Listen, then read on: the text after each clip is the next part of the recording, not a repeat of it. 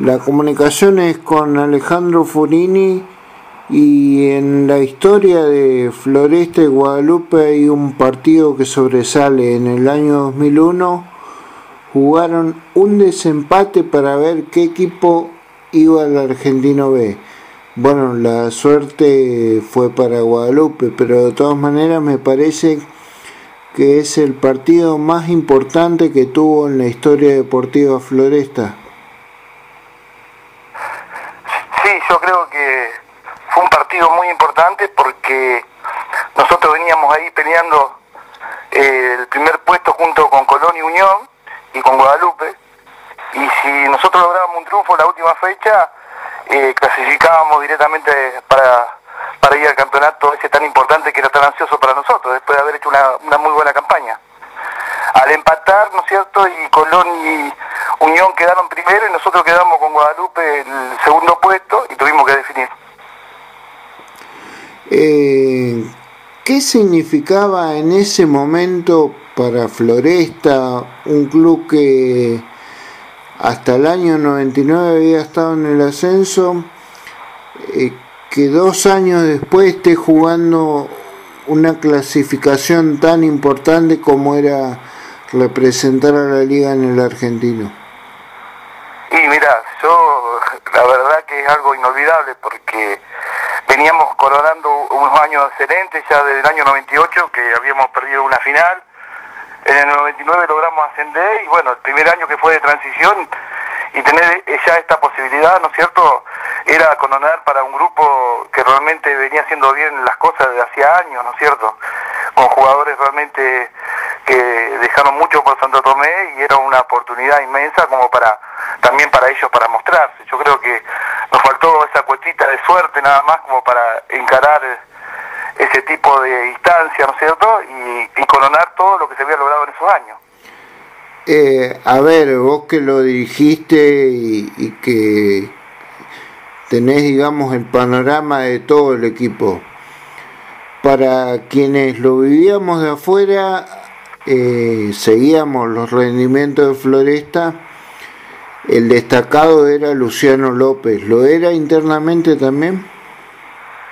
Sí, Luciano fue un jugador primordial, porque vos imaginate que fue goleador varios años y eh, a pesar de que el primer año nos costó un poco adaptarnos a la primera, que era sabido, ¿no es cierto? Porque era, era un ritmo diferente para nosotros y, logramos consolidarnos y, y ponernos eh, casi el equipo a la par de cualquiera, ¿no es cierto? Creo que fue importante Luciano, pero también una base de jugadores que veníamos ya trabajando juntos, como, como los Garbó, los hermanos Garboso, eh, Alejandro Veloz, y había realmente un equipo muy importante que, que era el reflejo de, de, de Santo Tomé y por lo cual todos teníamos muchas expectativas, ¿no es cierto? Casualmente estaba yo haciendo un poco memoria de ese plantel y recuerdo un partido que los vi ya en primera contra Argentino en San Carlos, donde Veloci había hecho muy buen papel ese día. Y bueno, sí, Alejandro ya era la consolidación de él porque ya venía de... Vos fíjate que el año 99 cuando logramos el ascenso, él fue elegido el mejor jugador y desde ahí en más fue muy importante para Floresta. Yo creo que cuando se perdió a Alejandro, no solamente que lo perdió Floresta, sino que lo perdió Santo Tomé, yo creo que eh, perdimos mucho futbolísticamente. Y Sussman era también un elemento importante, ¿no? Claro, porque Sussman eh, venía de trabajar en inferiores, nosotros teníamos eh, esa categoría de él, era la 84, y veníamos también de jugar una final con Unión, salimos un campeón de la Liga Santafesina, y Andrés prácticamente de sexta ya pasó a jugar en primera división. Fue el reemplazo primordial de Pablo Bonaza, si vos te acordás, que fue el arquero del ascenso, y después vino Zumman a realmente a quedarse con el arco y con un nivel muy importante que no parecía un, eh, un chico tan joven, sino parecía un jugador de mucha experiencia. Y año, un año después justamente eh, Luciano López tuvo la oportunidad, está bien, fue corto su paso, desconozco por qué el motivo, pero participó de el San Cristóbal que llegó a las puertas del Argentino A. Sí, yo creo que Luciano le faltó un poquito más de suerte, quizás nos faltó un poquito más de experiencia con él, ¿no es cierto? Un poquito más de, de, de trabajo, pero creo que era un jugador también, de, teníamos toda una cierta expectativa.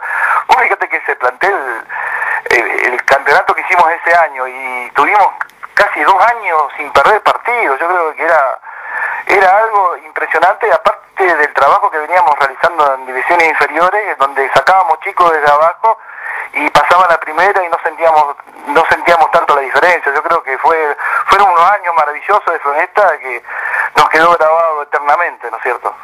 Eh, para quienes vivimos esa época gloriosa de Floresta desde afuera, nos hacemos la pregunta, ¿qué pasó con Furini? ¿Qué pasó con ese equipo? ¿Por qué Floresta se vino tan abajo? Bueno, eh, luego de eso pasaron... Vos fíjate que yo creo de que a pesar, ¿no es cierto?, de lo después de las irregularidades que tuvimos, yo creo que un club como Floresta, un club que venía muy de abajo, haber eh, estado cinco años en Primera A, fue algo importantísimo. Yo creo que eh, ese plantel logró algo que muy pocos planteles lograron.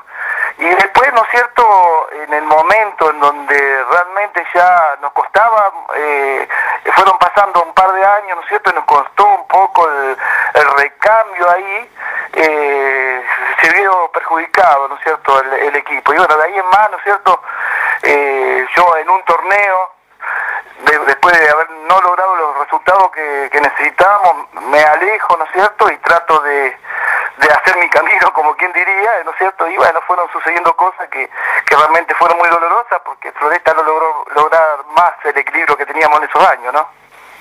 Eh, años después me pasó una particularidad de estas cosas que uno vive en el deporte. Un día estaba almorzando con el plantel de San Cristóbal charlando con un muchacho y yo le veía cara conocida al preparador físico.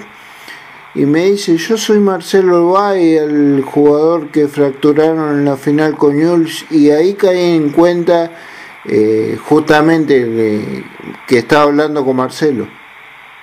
Con Marcelo Bay, que también fue otro jugador, profesor, eh, bueno, fue un, realmente un plantel hermoso o sea, que tuvimos, Marcelo, la, la primera final con Newell le sucede algo realmente que lo deja fuera de las canchas, por, no sé si te acordás.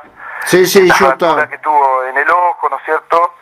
Eh, no vale la pena ya nombrar lo que pasó, porque fue algo pasado, ¿no? Pero lamentablemente se tuvo que dejar políticamente, bueno, para luego desempeñarse como, como, como preparador físico, que creo que también eh, está dejando su huella, una muy buena persona y, y le ha ido muy bien. Bueno, y me contaron ahí que totalmente alejado de, la dirección técnica, estás trabajando de mozo, me dijeron.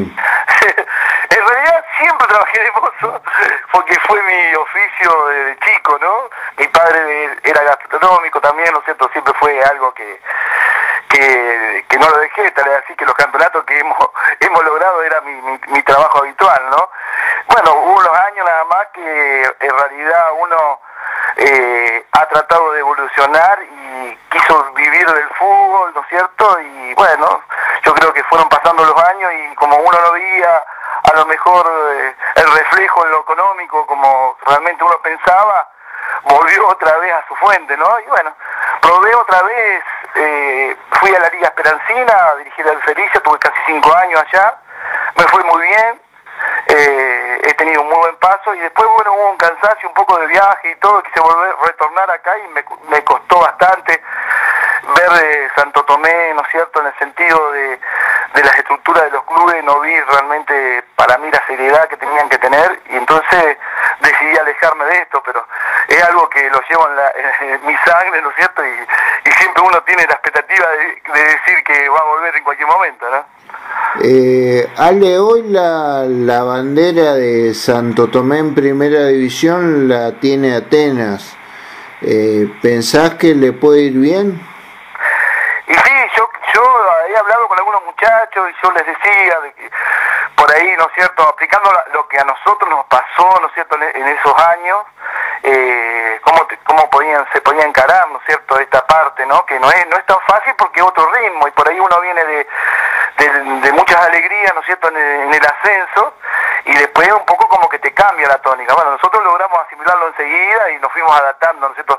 Primer año nos costó, pero ya el segundo año los muchachos se soltaron y logramos estar a la par de todos. A ver, vos me dirás si cuánto de verdad hubo en lo que me acabo de enterar. ¿Estuviste cerca de Alianza, puede ser? Sí, no sé. Hubo algo que, que se rumoreó por ahí. Tuve la oportunidad de hablar con el presidente y había una cierta expectativa de, de retornar a Alianza. O sea que Alianza fue en muchos años atrás estuvo en la, en la Liga Santafesina y había una, una idea de a ver si se podía eh, efectuar un retorno, pero después no sé si, si no hubo a lo mejor eh, el diálogo suficiente como para poder encararlo, pero bueno, es una expectativa también que por ahí puede llegar a dárselo eh, el más adelante, ¿no? Bueno, Alejandro, el agradecimiento porque eh, te cuento algo, eh, yo hace varios años que vengo planteando los historiales, las estadísticas en primera división y me venían reclamando muchos lectores de la página y el ascenso y el ascenso y el ascenso. Y, estas lluvias eh, trajeron inconvenientes para la suspensión de partidos, pero me permitió el tiempo de empezar a dedicarle historiales al ascenso y justamente este partido del 2001 entre Floresta y Guadalupe era el que se destacaba en el historial. Sí, sí.